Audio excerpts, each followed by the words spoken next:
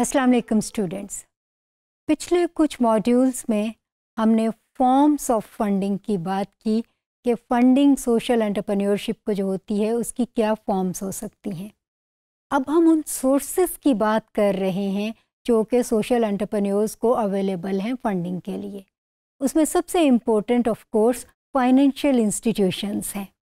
Financial institutions जैसे banks loan provide करने वाले इदारे और कमर्शियल जो इन्वेस्टमेंट की ऑर्गेनाइजेशंस हैं, उन्हें हम ग्रुप करके फाइनेंशियल इंस्टीट्यूशंस का नाम दे रहे हैं। ये जो रिलेशनशिप है सोशल एंटरप्रेन्योरशिप और फाइनेंशियल इंस्टीट्यूशंस के दरमियान, ये बहुत दिलचस्प है।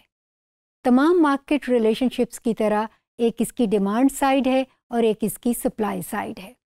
डिमांड साइड पर जब सोशल एंटरप्रेन्योर्स अपनी इनिशियल अजम्पशंस को वैलिडेट कर चुकते हैं अपने ज़ाती सरमाए से, या जो दोस्तों फैमिली फ्रेंड्स या डोनेशंस जिसको बूट स्ट्रैपिंग कहते हैं, उन स्ट्रेटजीज़ के ज़रिए से एक दफ़ा वो अपना इनोवेटिव आइडिया प्रैक्टिस करके दिखा देते हैं तो फिर वो फाइनेंशियल इंस्टीट्यूशंस को जो फॉर्मल हैं, उन्हें अप्रोच कर सकते हैं। मसलन वो बैंक के पास लोन लेने के लिए जा सकते हैं कि देखो हमारा आइडिया वायबल है, ये हम कर रहे हैं, हमने करके दिखा दिया है, ये मुमकिन है।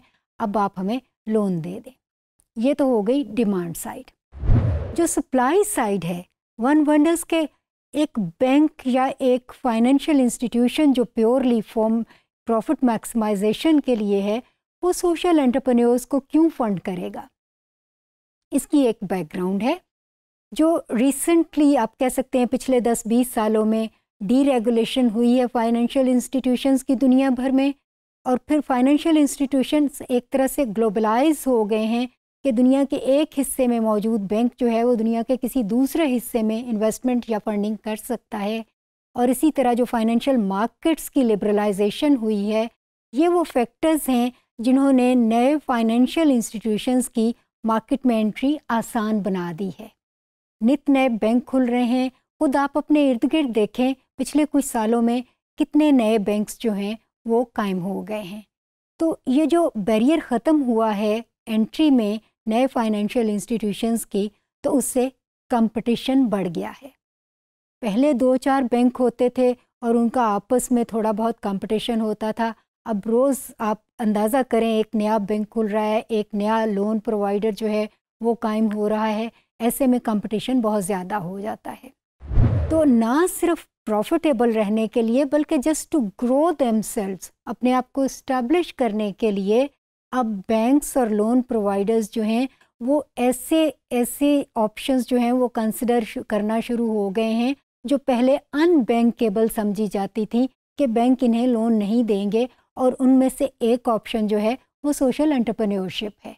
तो ये सप्लाई साइड है कि बैंक्स और लोन प्रोवाइडर भी इंटरेस्टेड हैं, क्योंकि आप इस बात को डिनाई नहीं कर सकते कि सोशल एंटरप्रेन्योरशिप जो है वो बहुत तेज़ी से एक्सपेंड हो रहा एक सेक्टर है, एक बाकायदा इंडस्ट्री बन गई है।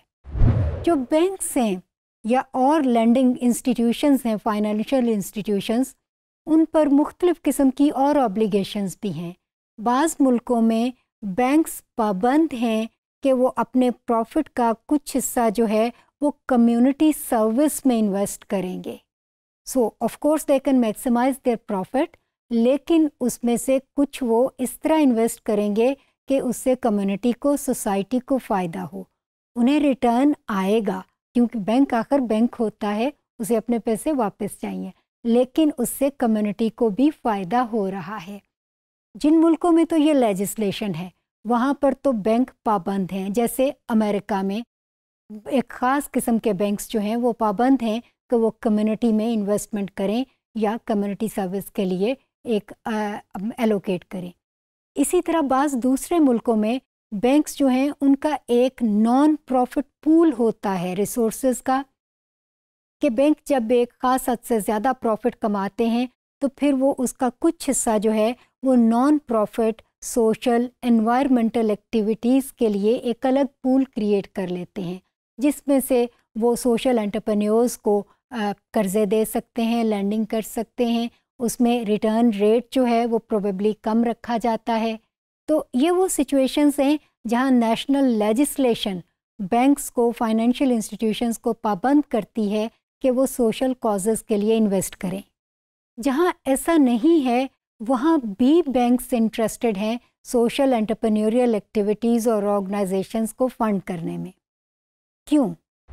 इसकी वजह है community halo effect community halo effect से मुराद है कि बैंक्स जो हैं, उन्हें पता है कि एक सोशल एंटरप्रेन्योर ऑर्गेनाइजेशन जो है, उसके बोर्ड ऑफ़ डायरेक्टर्स पर ऐसे लोग बैठे हैं, जिनकी कम्युनिटी में से है, जो बड़े बिजनेसमैन हैं फिलंथ्रोपिस्ट हैं डोनर्स हैं, पढ़े लिखे काबिल लोग हैं कम्युनिटी के मोजीन जिन्हें आप कहते हैं।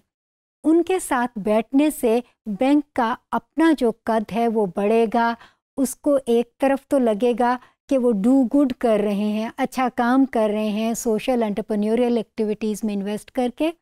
और दूसरी तरफ़ ये वो उसके इंडिविजुअल क्लाइंट्स पॉसिबल हो सकते हैं बोर्ड ऑफ़ डायरेक्टर्स के मेंबर्स जो कि उनके लिए बिज़नेस ला सकते हैं इन रिटर्न सो बैंक जो है वो कभी भी ऐसी इन्वेस्टमेंट नहीं करता जिसमें रिटर्न ना हो। तो प्रोबेबली वो सोशल एंटरप्रेन्योरियल एक्टिविटी के लिए जो इन्वेस्टमेंट करेंगे, उस पर रेट ऑफ़ रिटर्न कम रखेंगे। लेकिन बोर्ड ऑफ़ डायरेक्टर्स की शक्ल में जो फ्रेंड्स हैं उस सोशल एंटरप्रेन्योर के, जो उसके वॉल्टियर्स हैं, जो उसके डोनर्स हैं, वो बैंक के पॉसिबल क्लाइंट होने की शक्ल में एक उनके लिए वैल्यू एडेड हैं। एक बैंक के गिर्द एक हॉलो क्रिएट हो जाता है, एक सुनहरी दायरा बन जाता है कि ये वो बैंक है जो अच्छे कामों के लिए इन्वेस्टमेंट कर रहा है। हालाँकि बैंक को कोई नुकसान नहीं हो रहा।